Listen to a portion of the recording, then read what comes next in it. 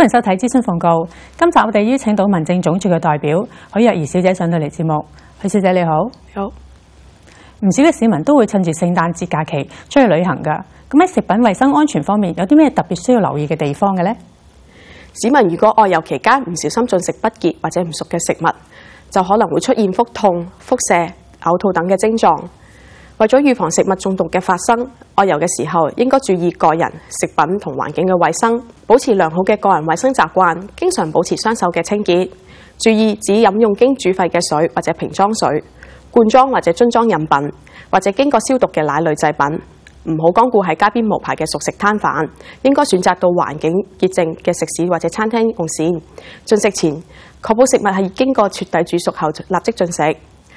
而生冷嘅食品喺進食前係不需要加熱處理嘅，因此好似雪糕、沙律、魚生或者已經切開咗嘅水果，就要特別留意儲存條件同温度。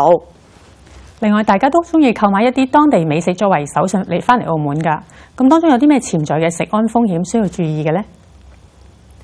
過往曾經有本澳市民進食咗親友外遊帶翻嚟嘅生冷即食食品後，身體出現不適，甚至引發腸胃炎。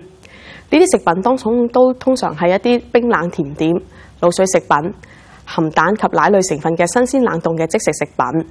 由於呢啲食品本身含有蛋白質及有水分，比較容易變壞，所以唔可以喺五度到六十度呢個危險溫度下作長時間遠距離嘅運送。所以大家應該避免挑選呢一類食品作為手信。如果大家需要喺外遊嗰陣時候購買食品作為手信，咁民政總署食品安全中心有啲乜嘢建議俾市民呢？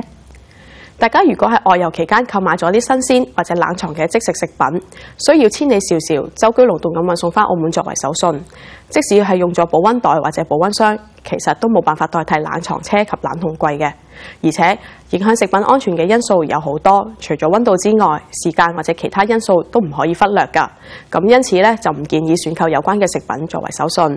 如果喺外遊期間咧，選購咗新鮮嘅即食食品，應該係購買之後咧，盡快食用，切勿喺室溫下存放超過兩小時。並需要仔細閱讀食品包裝上面嘅標籤，注意食用限期。對於食品嘅來源及安全性存有懷疑，又或者食品異常嘅時候，就唔應該購買同立即停止食用。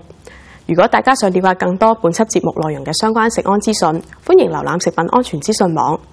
今集唔該晒許小姐嘅講解。節目時間到啦，再會。